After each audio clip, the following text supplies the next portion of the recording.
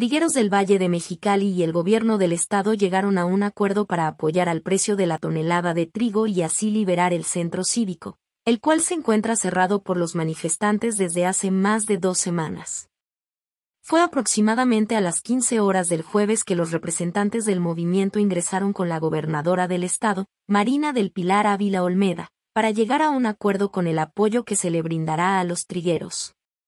Horacio Gómez, representante del movimiento, dijo que el gobierno del estado dará un apoyo de 200 pesos por tonelada, 100 por parte del gobierno municipal y 200 por parte del gobierno federal, para así llegar a los 500 pesos.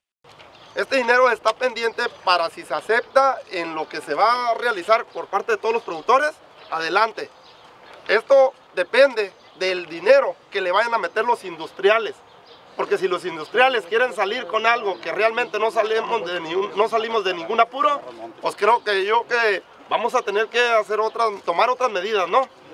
Aclaró que no han aceptado el acuerdo realizado por el gobierno del estado, hasta el momento se encuentran agradecidos con el apoyo de la gobernadora. Sin embargo, en caso de que los industriales no ofrezcan 7.500 pesos por tonelada de trigo, no habrá trato alguno reiteró que no estarán conformes hasta llegar a los 8.000 por tonelada de trigo, por lo que la industria deberá poner los 7.500 que faltan para llegar a la cantidad deseada por parte de los productores.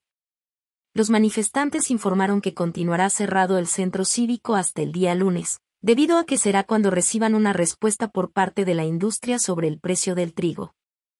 Horacio Gómez dijo que en caso de que los industriales no ofrezcan 7.500 para llegar a los 8.000 en el precio de la tonelada del trigo acudirán con los mismos y realizarán su cierre hasta que se les dé una solución efectiva.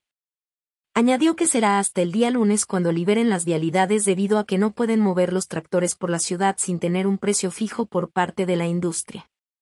Precisó que al principio de la manifestación se encontraban solicitando un precio de 8.000 por parte de la industria y que el apoyo del gobierno federal, estatal y municipal fuera aparte. Sin embargo, ya solo buscan que se llegue al precio establecido.